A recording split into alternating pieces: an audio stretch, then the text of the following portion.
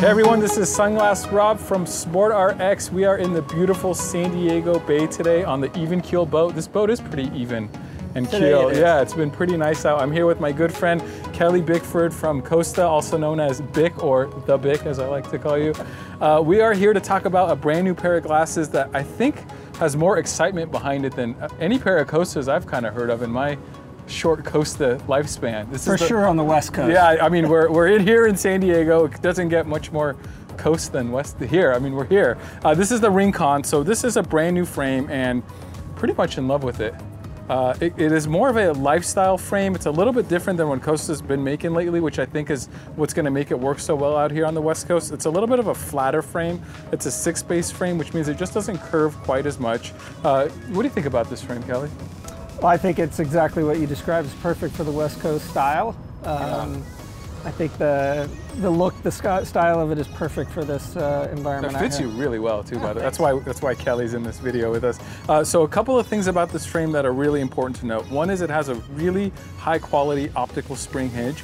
A lot of times, I'm not a fan of spring hinges to be honest with you, but this one is done so well. The glasses don't slide off, they, they don't move, they're done, they're done really, really well. And then a couple of hits of Hydrolite on here. You got it right on the nose bridge and right here behind the temple, right where you need it. So even though this is a little bit more of a lifestyle looking pair of glasses, it's still a hardcore pair of Costas that will work while you're out there boating or fishing. They're not going anywhere, they stay in place. No, it still has all the performance benefits that our uh, products would normally have. Really good hybrid. They did a really good job with that. So uh, as far as fit-wise goes, this is definitely going to be kind of a big boy frame, big head frame.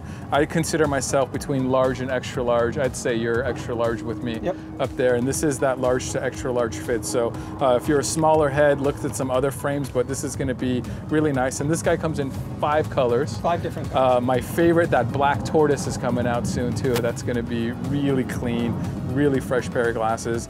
Um, this was named after the Rincon as a famous California uh, point break, so really, really West Coast inspired pair of glasses. If you're looking for some technical information on these glasses, I'm just gonna give it out to you.